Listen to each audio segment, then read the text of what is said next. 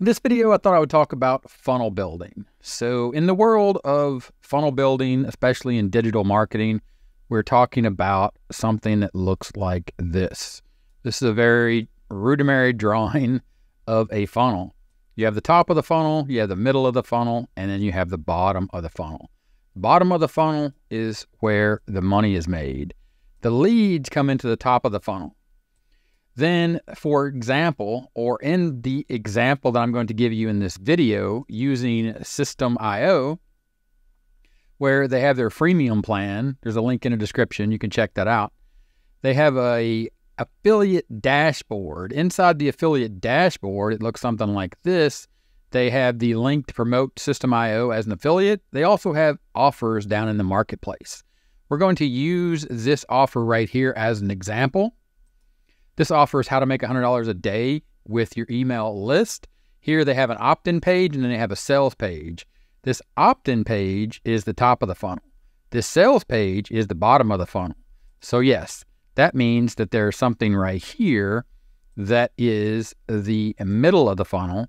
And I want to show you what that is by going to the opt in page, which looks like this. So, this is the top of the funnel. You, as an affiliate marketer, would send people from your videos, from your blog post, from your social media post to this to get free access to the first video of our course. They would enter their email address here to watch the video. Entering their email address gives them the free thing. That brings the people here into the top of the funnel. This thing right here is F R E E and this is a really terrible way to write the word free. And it takes them to the middle of the funnel where you are going to provide education or you're going to encourage them to go down to the bottom of the funnel and spend money or come out of the bottom of the funnel and buy money or have bought something so you can make money as an affiliate.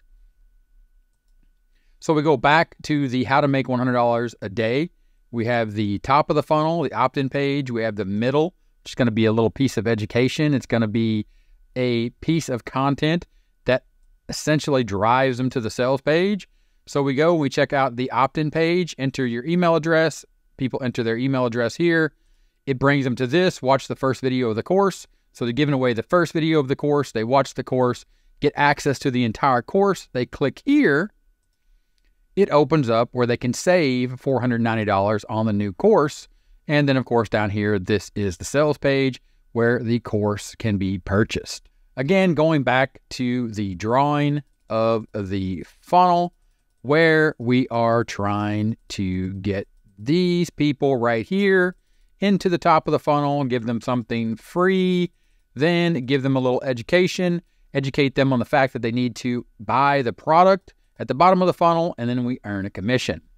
Now, inside of that, if we were to represent this the way that we did earlier, you could actually create this funnel yourself because the big issue here is when you're promoting something as an affiliate, if you don't create your own funnel, meaning if you don't create, and I need to click on the pencil to draw, if you don't create your own opt in page, so this is your squeeze page, Squeeze page is a page that only gives one option, and that option is to enter an email address and press a button to submit to go on to the next page, which is going to be the middle of the funnel. So, again, this is the top of the funnel.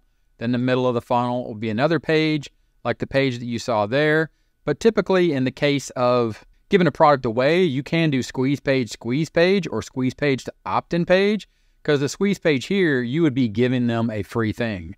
So you could literally put your opt in page, your own opt in page, or your own squeeze page in front of this. So your squeeze page could go in front of this. It's going to go down a little bit in conversions, but that is the way that you could use this. Or you can go inside of Systeme.io and you can go under funnels, and then you can create your own funnel here by creating a new funnel name, test funnel, and you can build an audience. Here you can build an audience by selecting save. And then here you would click on that funnel. Then here you would build a squeeze page and then a thank you page for that squeeze page. Essentially, you're getting people to opt in.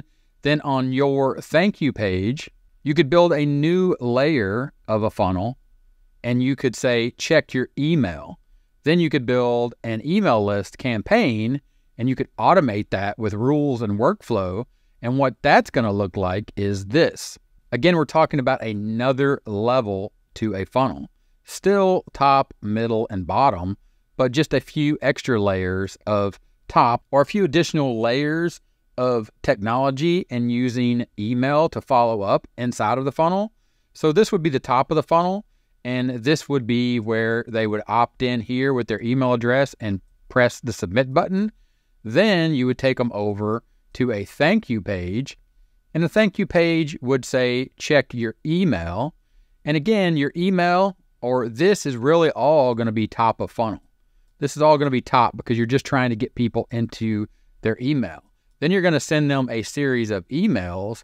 And this series of emails that you're going to send them inside of the campaign using Systeme.io is going to be the middle of the funnel.